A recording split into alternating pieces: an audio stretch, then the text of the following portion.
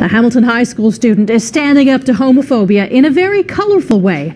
And as our Elizabeth Hall reports, his message of acceptance is spreading like wildfire. Hey guys, for those of you who don't know me, my name is Jared McCarthy. I'm a student at Westmount Secondary School.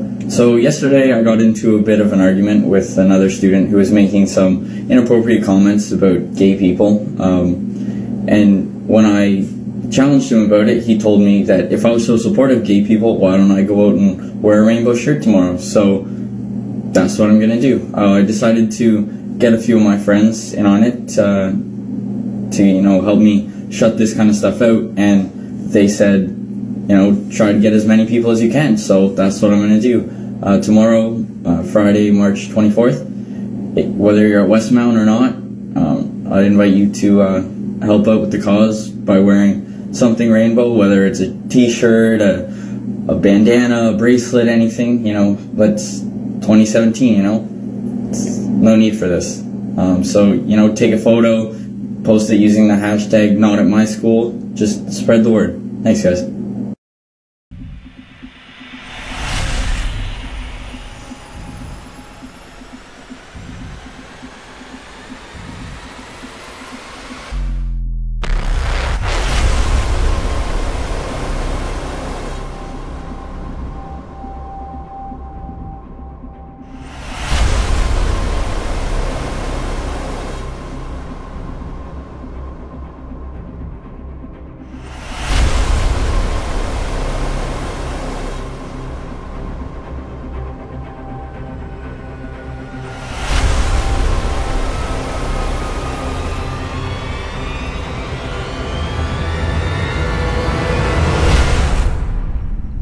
16 year old Jared McCarthy asking people to wear rainbow colors has over 60,000 views on Facebook.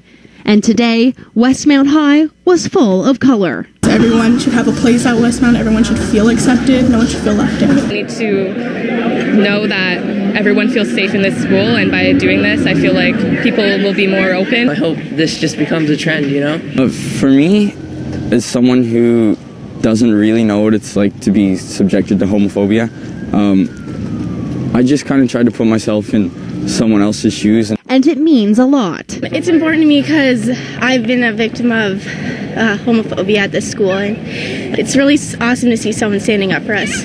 It's absolutely amazing. Him rallying people to wear rainbows and stand up against bullying is exactly what um, you know we encourage people to do. And it's not just here at Westmount High that Jared's rainbow statement has caught on. I was told last night that there's. I was told last night that there's a couple other schools doing this. Uh, one in York Region, and I believe the other two are in Mississauga. And elementary school students are taking part too. Just search hashtag not at my school on any social media and you'll find a number of GTHA kids wearing rainbow shirts. Putting an end to homophobia, one rainbow.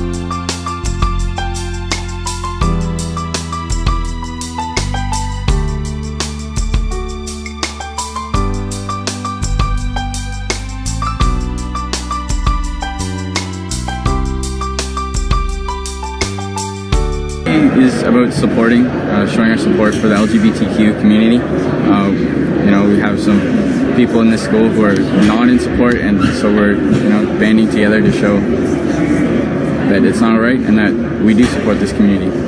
We started on Wednesday night and here we are today. Well, are you hoping to make it maybe an annual event, or what's, what's the plan? That would be awesome. Yeah, if we could uh, get this going every year. Um, you know, continue growing it, uh, not just at Westmount, but in other schools around the city. You can see behind me, there's quite a few, and more people still coming. Uh, still got five minutes before everyone's supposed to be here, so we'll see. Um, I know there's a couple other schools too in Mississauga, one in York, who are uh, doing a sort of rainbow day.